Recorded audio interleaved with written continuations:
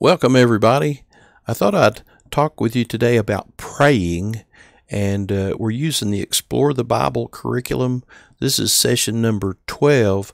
Uh, the title is Praying, and it's based on Second Thessalonians chapter 2, verse 13, all the way through chapter 3, verse 5. So before we jump in, let's go to the Lord and just pray and ask Him to open our hearts. Our Heavenly Father, we want to thank you for the Lord Jesus Christ. We want to thank you for the scriptures. We want to thank you for all the teachings that you've given us through uh, the Apostle Paul and, and many, many other uh, writers in the scripture. We thank you for the presence and the power of the Holy Spirit and help us to understand that we can come to you anytime, in any situation, in prayer we can seek your guidance. We can seek your help. We can seek uh, deliverance. We can seek whatever it is that we may need. And we can just simply come and praise you and thank you at any time. Help us to take advantage of our privileges uh, to be able to pray. Help us to come to you knowing that you hear us, that you care, and that you will respond. And we thank you, Lord. In Jesus' name, amen. All right. I'm going to read something from uh, Second Thessalonians chapter 2, uh, verses 3, uh, I'm sorry, verse 13 all the way through 3, chapter 3, verse 5. I'm just going to read the passage and then just make a few comments before we start, and then we'll go back and go through it a little more slowly. But we ought to thank God always for you, brothers and sisters, loved by the Lord, because from the beginning God has chosen you for salvation through sanctification by the Spirit and through belief in the truth. Now, there's an awful lot in that statement. You know, before the foundation of the world, God knew those who would receive Jesus Christ. Uh, he also knew those who would reject him. And the Holy Spirit will begin a work in the lives of those who receive Christ by faith, and that's called sanctification. He'll progressively conform you to the image of Christ. Uh, will become like Christ. In 1 John chapter 3 verse 2, John assures us that we will see Jesus as he is when he returns and we will be like him. Uh, becoming like him is a work of the Holy Spirit in our lives. So I'm looking I'm thankful for that, that, that God will finish the work that He's begun in our lives.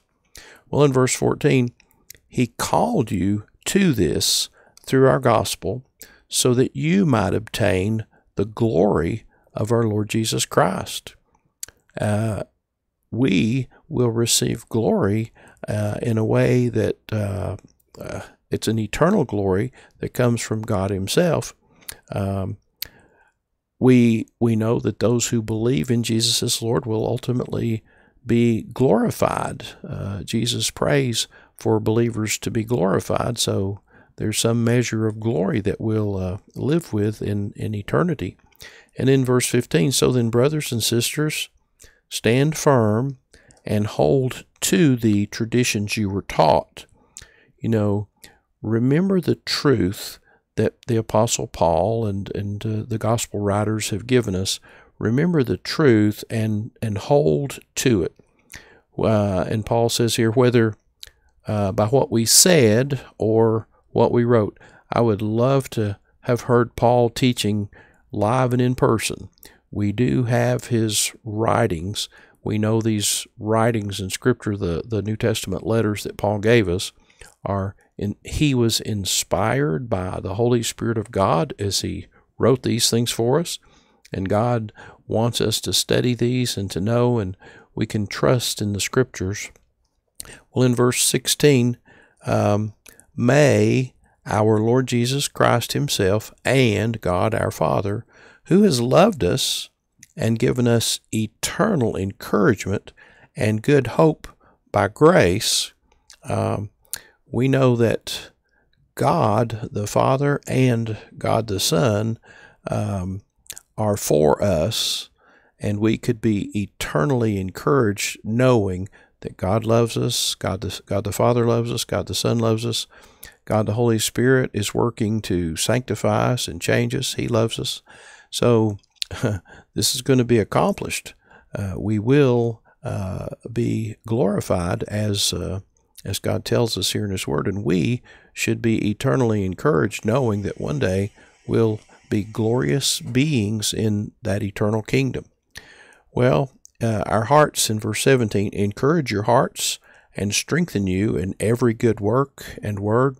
You know, while we're here, we should be engaged in good works, uh, those kinds of works that would be pleasing to God and lead others to Christ. Uh, in addition, in verse this is chapter 3 verse 1. In addition, brothers and sisters, pray for us that the word of the Lord may spread rapidly and be honored, just as it is with you, and that we may be delivered from wicked and evil people, for not all have faith. There are many people who are actively opposed to Christ Jesus. Uh, they're actively opposed to the to the ministry of the gospel to others who don't know Christ. So uh, Paul here is is seeking prayer uh, for, uh, on his behalf, and Silas and Timothy as well. But he's uh, he's asking other believers to be engaged in prayer for him and for Silas and Timothy as they go out and share the gospel. And Paul knows full well that he will encounter uh, some pretty heavy resistance. Uh, it's going to take place through wicked and evil people. Uh, someone that doesn't have any faith in Christ will be an adversary. Uh, but the Lord is faithful. He will strengthen you and guard you from the evil one. Uh, right there's a clear promise of protection. Uh, God protects his people from the evil one and from anything the evil one may want to throw at us. We have confidence in the Lord about you that you're doing and will continue to do what we command that's an expression of Paul's uh, confidence in the new believers. He's actually saying, I know God will finish the work He's begun in you. I see your faith. I see the progress that's being made. The Holy Spirit's conforming you to the image of Christ. So he says, We have confidence in the Lord about you. His trust is in the Lord to conform us to the image of Christ. Well, may the Lord direct your hearts to God's love and Christ's endurance.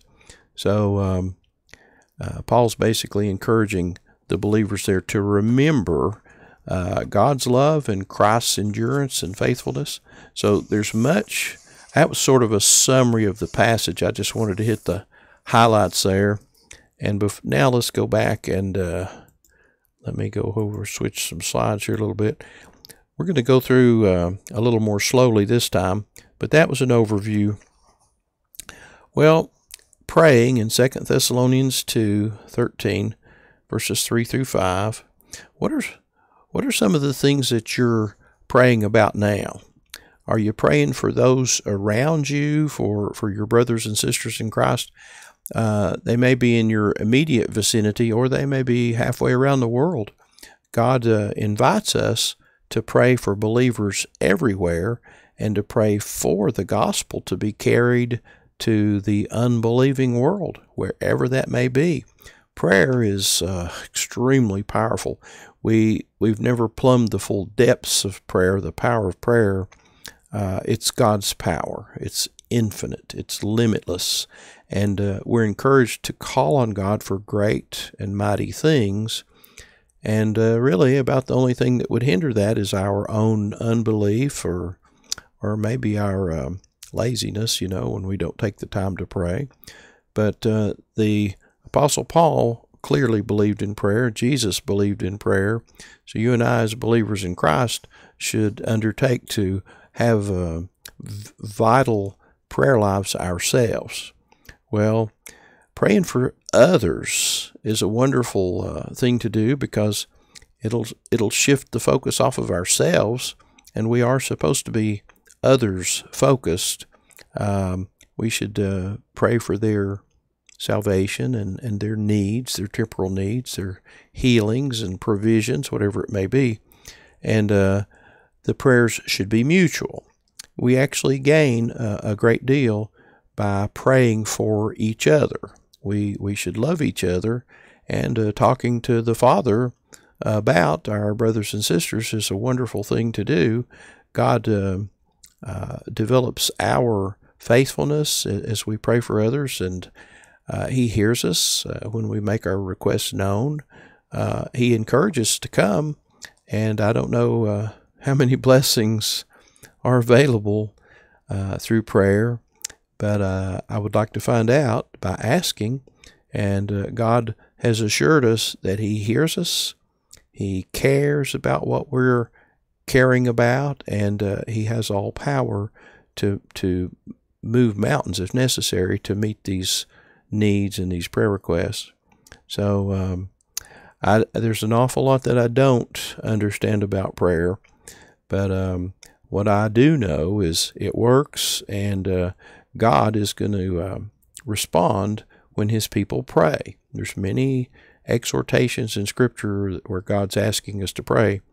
And if He didn't intend to answer those prayers, I don't believe there would be all those encouragements in Scripture to, to get us to pray. He wants us to draw near to Him and love Him from, from the bottom of our heart. He wants us to love, love Him with everything in us.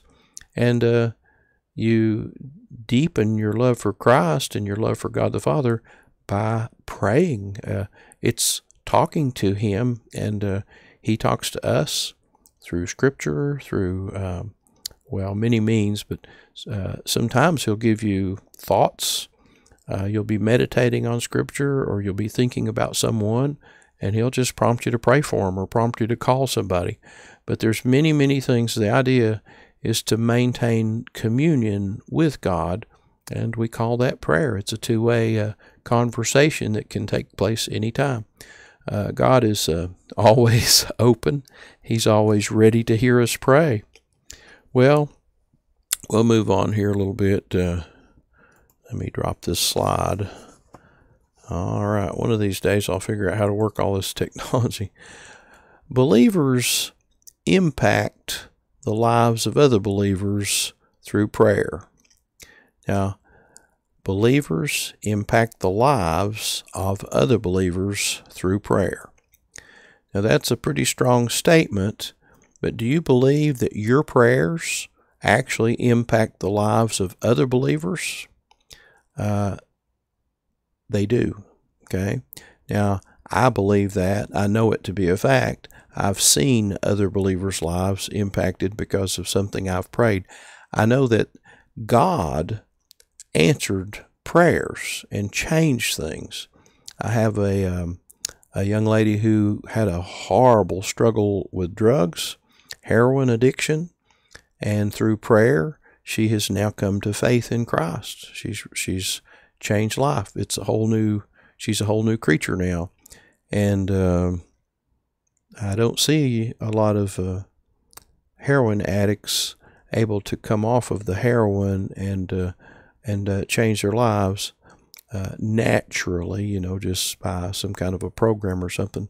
But uh, prayer, we're we're going to the Most High God who made her and seeking His uh, help for her. And I've seen this with my own eyes. I've seen many things like that where God's changed somebody's life through prayer.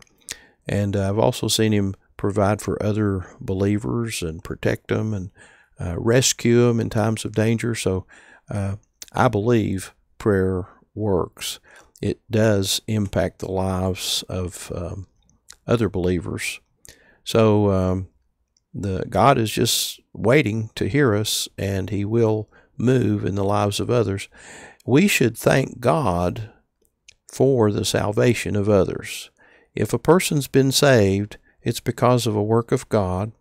Uh, he's been kind enough, the Father's drawn them to Christ, the Holy Spirit's uh, opened their eyes, and now they've received Christ by faith and have been born again.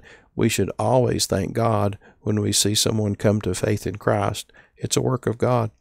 And prayer uh, encourages others, whether they know it or not.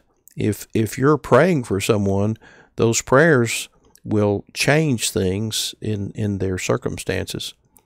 Uh, sometimes they can just be encouraged in their spirit. They may not see any kind of outward change in the circumstances, but they'll feel better as they face the circumstances they're in. Uh, that's strength from the Holy Spirit. He doesn't always uh, change circumstances. He can, but sometimes He changes our hearts. He changes the way we face the circumstances. And uh, we just have to trust that He knows what's best. Uh, invite other believers to pray for and with you. This is uh, an exhortation just to get involved in prayer. Uh, ask others to pray for you, and then uh, ask them to pray with you, and uh, and get it started. It, our nation is in desperate need of prayer. Uh, the the needs are immense, and only true believers are going to engage in prayer. So so get get into prayer and invite others to pray with you, and uh, ask them to pray for you if you're engaged in gospel ministry or uh, missions work of any kind. Ask people to pray for you. I have lots of people that pray for me, and I don't. Uh, I don't think uh, I could function without that. I, they pray and lift me up before God, and I'm so thankful to all those who do pray for me. If you're praying for me, I thank you right now. Well, God can help believers remain faithful to Him. That's a difficult challenge nowadays. There's many ways a person can get distracted from following Christ. So prayer will help us to remain faithful to Him. All right. Well, our uh, first verse in this uh, study today is Second Thessalonians chapter 2, verse 13. It's an encouragement to be steadfast. And I just have this one verse on this slide. Paul is saying, But we ought to thank God always for you, brothers and sisters, loved by the Lord, because from the beginning God has chosen you for salvation through sanctification by the Spirit and through belief in the truth. He called you to this through our gospel. This is the Apostle Paul speaking about the gospel message he's preached to the people in Thessalonica. He's seen their positive response. They've received Christ. So Paul's explaining to them what's happened. God called you to this, this new life through faith in Christ, through our gospel, so that, and here's the benefits of it, you might obtain the glory of our Lord Jesus Christ we will obtain, that. think about that, we will obtain the glory of our Lord Jesus Christ. Staggering to think of that in verse 15. So then, brothers and sisters, stand firm and hold to the traditions you were taught, whether by what we said or what we wrote. Okay. Now, Paul has said an awful lot right there.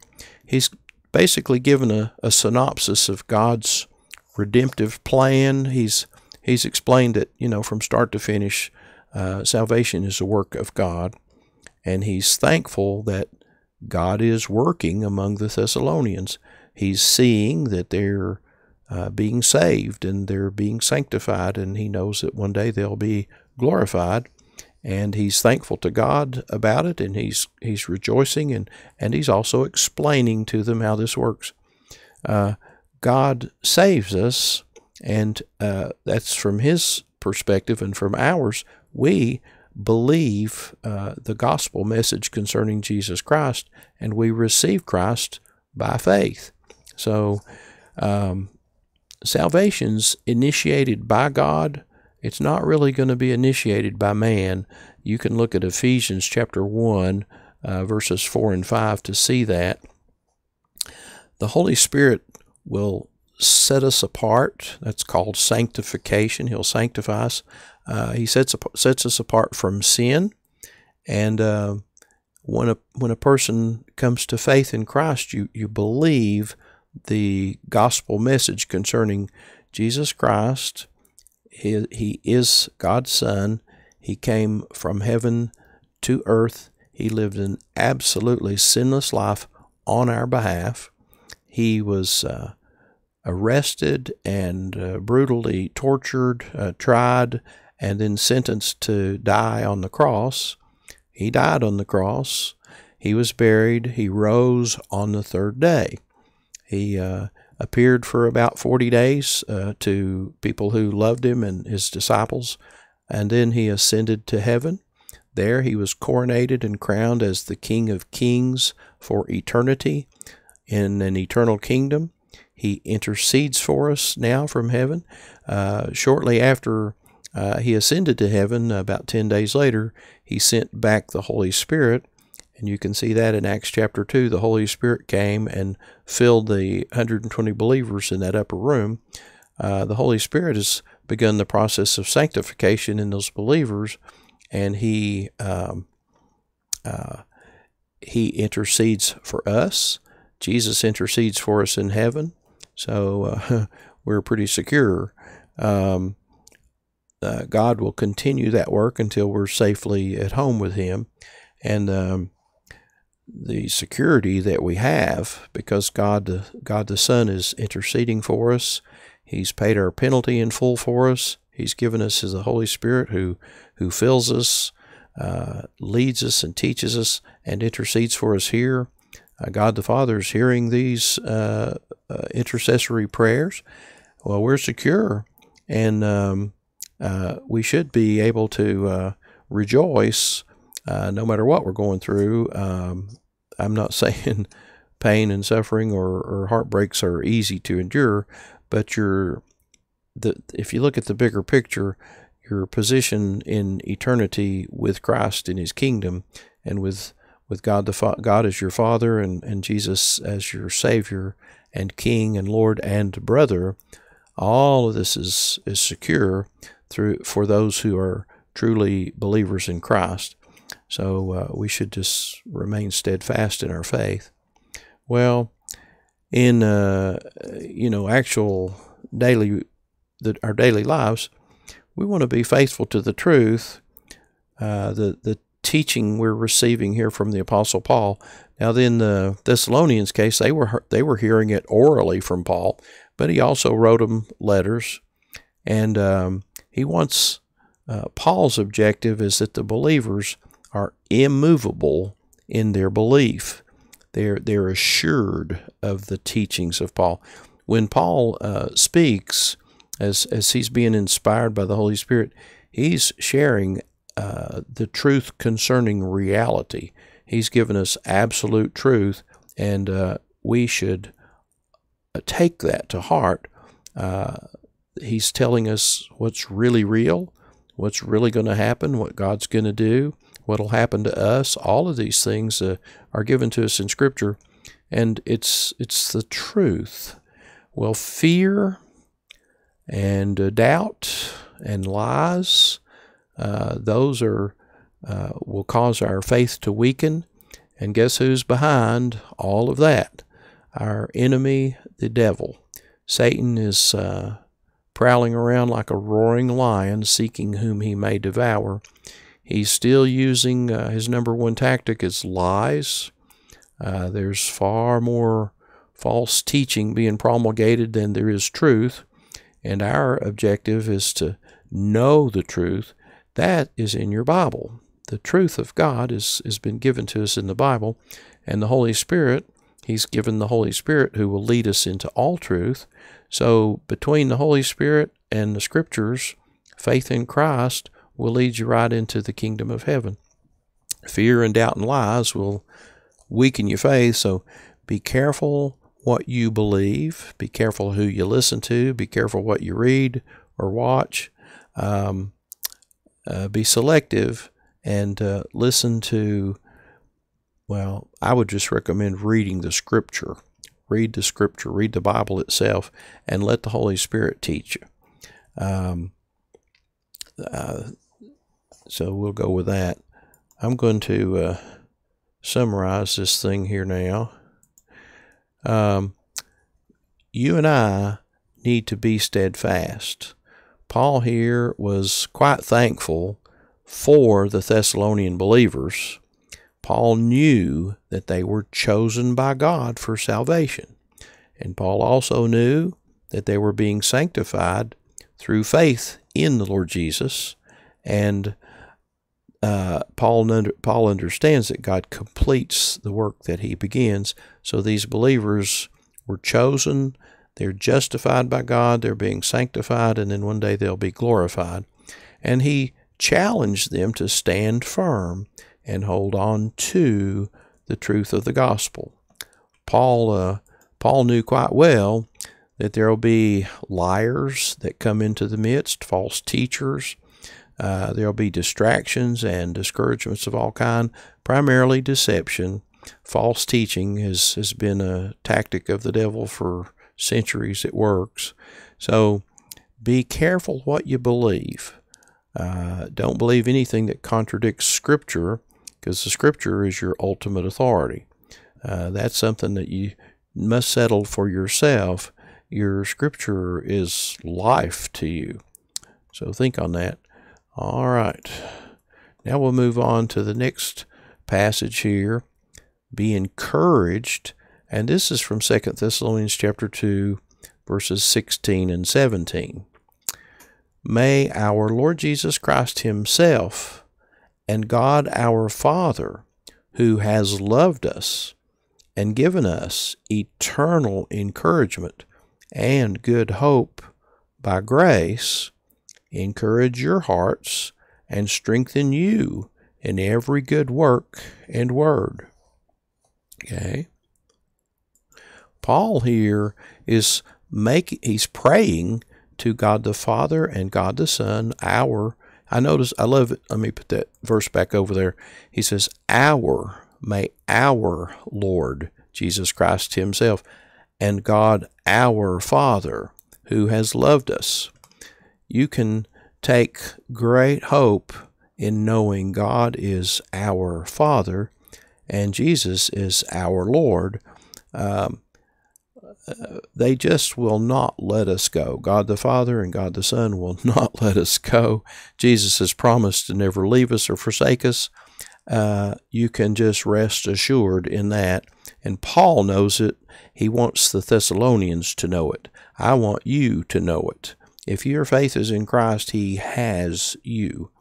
And um, he's asking, Paul is just asking God to, God the Father and God the Son, to give us um, eternal encouragement and to uh, uh, help us to realize our hope that we have in, in grace he encourage our hearts and strengthen us. And as we go forth, uh, we can go quite confidently. All right. All of that, uh, you can see it. May our Lord Jesus Christ Himself and God our Father, who has loved us and given us eternal encouragement and good hope by grace, encourage your hearts and strengthen you in every good work and word. All right. Well, we know we're going to face troubles in this world. We're going to have trials that might shake our faith. There's things that happen and we just don't know why, and that's okay. Uh, you don't have to know why. What we do need to know is is God is faithful, God the Son is faithful, the Holy Spirit's faithful, and um, the ultimate prom they promised to uh, uh, redeem us. They've they've promised to take us safely into the kingdom. Those promises are sure and uh, they've they've clarified in Scripture that we will suffer here for a, a little while, but one day. Look at Revelation 21 and 22, and look forward to the heavenly uh, city there, the New Jerusalem, and the fact that God's going to walk among us and wipe away our tears. Look to that, and uh, don't don't let the trials and sufferings that we may have here uh, interfere with your faith. We can pray to God. Uh, ask Him to uh, strengthen our hearts and guard our hearts and our, guard our minds. We can, when you're tempted to sin or uh, someone's coming after you, go to God. Go to God. Cry out to God in prayer and ask Him to guide you in every good work and uh, uh, ask Him to help you keep your motives uh, God focused. Well, Paul repeatedly prays for the people in Thessalonica. Uh, he's praying for their continued growth uh, in sanctification. He prays for them to continue to love each other and to, to grow in their love for one another. And um, when you know people are praying for you to grow in the faith and to love others, it helps you. And uh, if you're praying for others, that helps you too, and it helps them.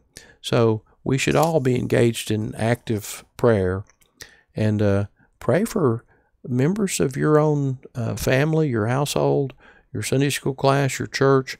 Pray for people that are near and dear to you. If it's uh, believers, you know, pray and encourage, ask God to encourage them. And uh, you don't have to tell them that you're praying for them, but it doesn't hurt. Pray for them. You can pray secretly or, or with their full knowledge. Uh, but uh, God hears uh, prayers that are offered in sincerity. He hears them. Okay.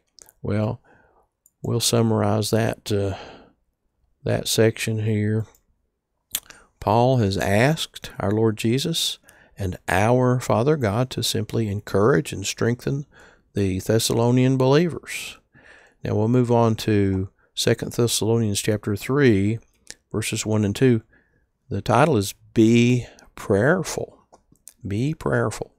In addition, brothers and sisters, pray for us that the word of the Lord may spread rapidly and be honored, just as it was with you, and that we may be delivered from wicked and evil people for not all have faith. Well, specifically here, Paul is asking for the spread of the gospel message. He wants this message to uh, travel the world, and he's asking God for protection for his messengers as they uh, as they go out.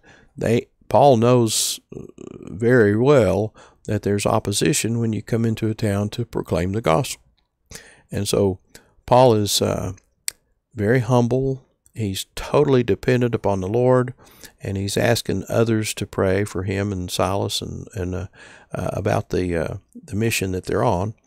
And um, we all, at this point, should should be prayer, prayerfully lifting up our missionaries, our evangelists, all Christian workers of, of any kind, if they're working in missions in the inner city, uh, and hospices or nursing homes or hospitals, wherever they may be. But pray for believers everywhere and join in. You know, let God know you care. Let Him know you're concerned about your brothers and sisters overseas or in difficult and dark places. Pray for prisoners and inmates. I mean, uh, the cancer wards. There's people everywhere that we can lift up to God in prayer, and you know some. So go to God on their behalf. You've got a precious privilege to be able to pray, and God's inviting us to to pray.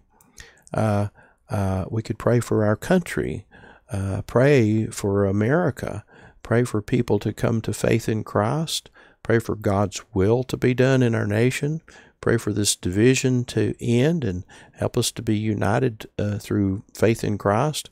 All of these things are God sized requests, so let's ask God. Let's ask Him to change things here who knows what he might do if we gen- genuinely humble ourselves before him, if we turn from our wicked ways, we seek his face, we, we pray diligently. Um, it's just not been done yet. So try it. Let's do it and uh, see what God does in our nation. Um, we get to carry one another's burdens. We can encourage and challenge each other to pray. Uh, just prayerfulness is, is it's a good habit to be in because it, it deepens our relationship with God and it brings all kinds of answers. I'm going to go ahead and uh, summarize that portion. Paul is simply asked the Thessalonians to be prayerful. Please pray for Paul and Silas and Timothy as they share the gospel with others. And uh, I'm going to ask uh, that you pray for me I'm involved in inner city ministry and, and other places. Uh, pray for me that I'll have opportunities to share, that it'll be well received and, and that I'll be protected from evil people who lack faith. I do, uh, believe you me, I, I run into people who lack faith in Christ, and uh, it doesn't stop me from sharing the gospel with them, but uh, it, your prayers might keep me protected. the um, the Lord uh, wants us to be faithful and share the gospel with all people. Now, you don't have to cast your pearls before swine, but He will prepare uh, opportunities. He'll He'll say, share with this one, and uh, th- those are. I, I ask Him to guide me daily, and uh, I ask Him to show me who to speak with, and who to share with, and who to pray with, and uh, I found that He brings me people now. He brings people to me. They'll come to me and ask for prayer uh, they'll come and I can share the gospel with them. But but he he brings people across my path, and he also um, allows me to encounter uh, unbelievers uh, that that are not even they're not open to the gospel. But he keeps me safe when I'm in their presence, and uh, I deal with people who don't believe uh, Christ is the Son of God. I believe I deal with people who are atheists. I deal with uh, witches. I've, I've dealt with just about uh, every kind of syncretistic mix of of religion that you can imagine. They they seem to combine little portions of various faiths and come up with their own plan. But I've talked to a lot of different people over the years, and uh, uh, my job is to give them the truth. And um, I do hear uh, some of the things they believe. I had a guy that believed in reincarnation on one seat, and the guy right beside him uh, was a Buddhist, and the other guy beside him was an atheist. And I just shared the gospel with all three of them, and uh, they all we all need the gospel. So um, I asked him, Uh, I said, if what you're believing should happen to just not be true, would you like to hear the truth? And the uh, the guy that uh, believed in reincarnation said yes. So I shared it with him and uh, the other two heard it. so uh, if I were to hear the gospel, um, it's gonna it's a very very powerful message. It comes from God, and uh, a creature will hear it, and it can't help but affect a person. Now they can harden their hearts and they can resist and reject, but but God wants us to go ahead and share it anyway. That's uh, my job is to sow the seeds, which is the Word of God. Sow the seeds. The field, uh, uh, there's different, you know, the parable of the sower. There's the uh, hard path. There's the um, uh, the the soil that has doesn't have much depth. It's rocky soil. And there's the thorny ground, and then there's the good fertile soil. Well, I don't know which uh, person is which, so I just share it with all of them. All right. Well, we'll go here to uh, the next portion. Be confident. Second Thessalonians chapter 3 verses 3 through 5. But the Lord is faithful. He will strengthen you and guard you from the evil one. We have confidence in the Lord about you that you are doing and will continue to do what we command. May the Lord direct your hearts to God's love and Christ's endurance. Okay? Well, um, we know that um, Paul is is he, Paul is helping the Thessalonians understand God's faithfulness. We each need to experience God's faithfulness for ourselves, and um, uh, Paul wants them to know, so he's just basically being quite plain in the scripture. He just says, But the Lord is faithful. He will strengthen you, He will guard you from the evil one.